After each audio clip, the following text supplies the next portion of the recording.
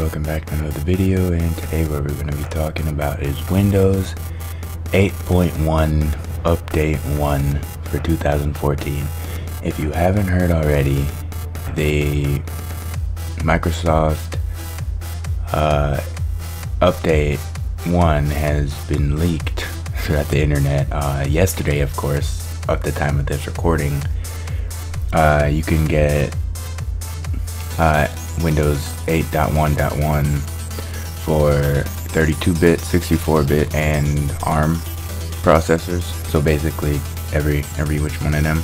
Uh, it's it was available on their site if you were if you knew the links, and uh, you you could get the links from uh, Digital Life Forum.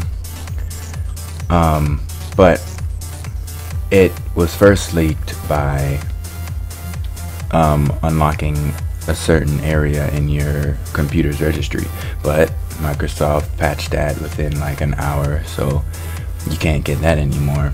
Uh, I'm not too sure if they've already patched the links directly to the updates, but even though like you know some people have already got the updates and I'm putting them up on torrents and whatnot, I'll I'll have you find that on your own. But they're out there, they're there. Uh, they are build build 17031, which is uh, released to manufacturers or RTM, and what is in these updates are, you know, pretty simple.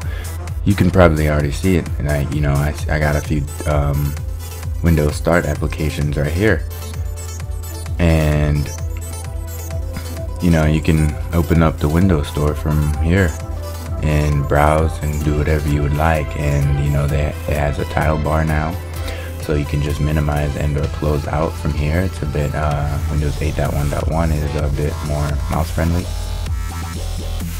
Um,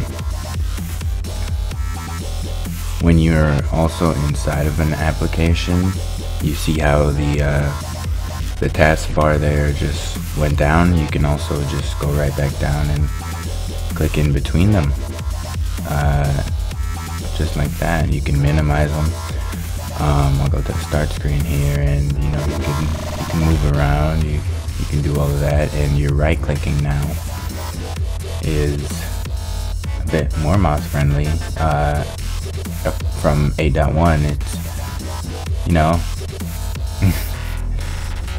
fits towards the mouse and not your like as it's a touchscreen if you also notice this right up here you can shut down a little bit faster um, also, OneDrive. Now the app doesn't really look any different other than just the label change, OneDrive. And there, you know, you could do the minimize, you could X out. Apologize for that uh, police car if you may hear in the background.